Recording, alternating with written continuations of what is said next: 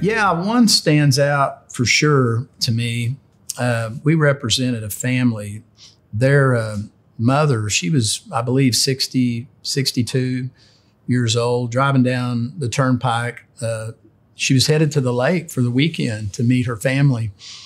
And a truck driver, broad daylight, no weather, he just ran over six cars.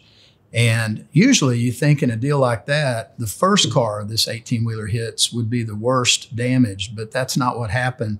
It was sort of like a bowling ball hitting those pins. The first five cars kind of spun off to the side. The sixth car was our client. And she's driving a very large SUV, but I mean, it lined up perfectly. And an ongoing trucker actually, we found later, videoed, we had it on tape.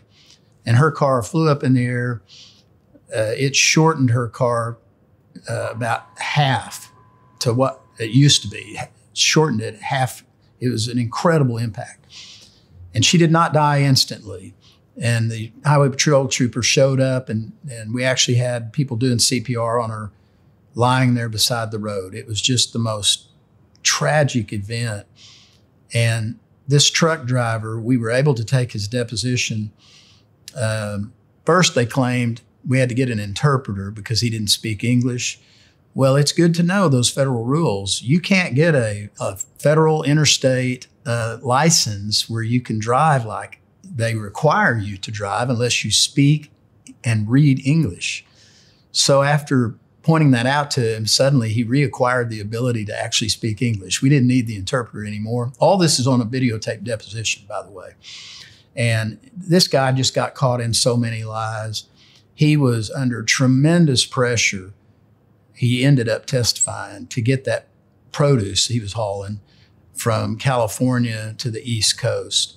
And he was, you know, faking the logs, speeding, and he just had a probably a moment of fatigue and I think he just kind of went half asleep. And that's why he ran over six cars. We were able to determine uh, it was a fly by night company he had formed, you know, a company and then he got in trouble. So he formed another one. This guy was actually operating this company out of his home. The real key to the case was he was being hired by a much larger company to haul his produce. But there was no way to know that. It didn't have the larger company's name on the truck. In fact, it, the other company that hired them wasn't even on the accident report. We had to do a lot of work to finally find the involvement of this third company. So after we dug and got that, we found out they had a lot more than just a minimal insurance policy. And we were able to present that family who lost their mother. It was five kids, uh, you know, a wonderful, loving husband, and they lost their loved one all because of just greed. And we were able to demonstrate all that and got one of the largest settlements. I can't tell you the amount because it's confidential and sealed up. And obviously, I can't tell you who it was, but uh, it was one of the, the largest settlements in, in history in Oklahoma on a case of its kind. And I've become personal friends with this family and stayed in touch with them. And, you know, handling a case like that, uh, where you uncover the truth that was being hidden, it, it's very satisfying.